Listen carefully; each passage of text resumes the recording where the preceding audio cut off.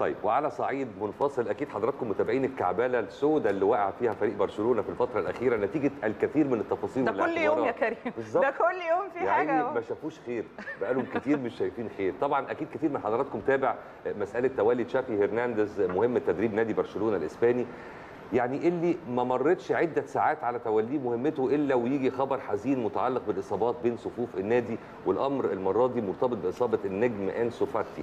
حسب صحيفة موندو ديبورتيفو الإسبانية فإن هذا اللاعب سيبتعد عن الملاعب لمدة أربع أسابيع على الأقل بسبب إصابة في عضلة الفخذ الأيسر كان اتعرض لها يوم السبت اللي فات قدام سيلتا فيجو. لم يعلن برشلونة عن الموعد اللي يعني ممكن أن يعود من خلاله اللاعب جاهزا للمشاركة مرة أخرى. بالمناسبة وعمره عمره 19 سنة ولاعب عنده مهارات قوية جدا جدا جدا. وده معناه إن هو مش هيشارك في مباراة فريقه أمام المنافس الإقليمي إسبانيول برشلونة يوم 20 نوفمبر ولا أمام بنفيكا لشبونة يوم 23 نوفمبر. وأكيد الموضوع ده برضه هينعكس بالسلب على أدائهم في هذه المباريات.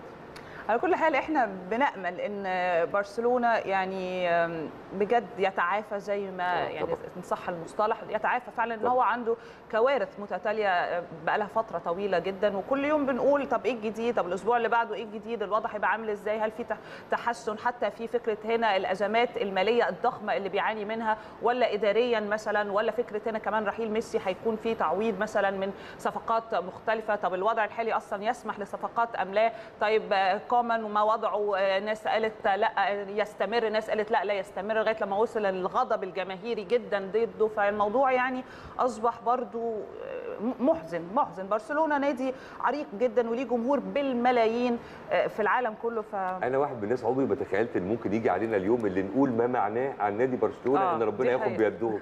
دي مش حقيقة. لايقة فاهم برشلونة يا. عالم يعني شيء عجيب.